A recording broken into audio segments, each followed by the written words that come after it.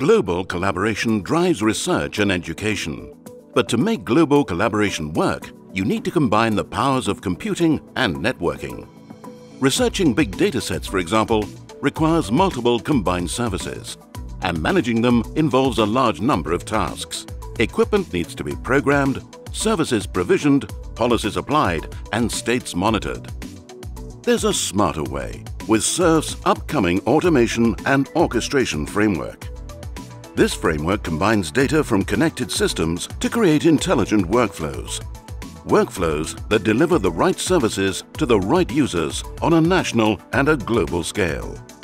At SURF, we have multiple administrative and technology domains. All technology domains come with their own open and programmable API, so they can be configured automatically. In addition, the intelligence that creates the composed services and offers them to the users resides within our orchestration layer.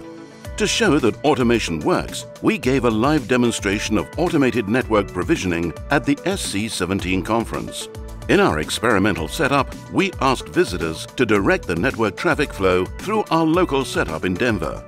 Using dedicated connectivity, it interacted as an autonomous system with its direct neighbors in Amsterdam. Visitors simply put on a Microsoft HoloLens and received instructions from the orchestration software. Via the augmented reality interface, they could plug and pull cables from our four on-site routers. All devices at our booth were provisioned in the background in real time, which allowed a seamless flow of traffic. Our automation and orchestration framework can also configure devices for different vendors and types underneath the controlling software. The same demonstration can also be held with different types of routers or switches. This allows us to build automated multi-vendor networks in the future.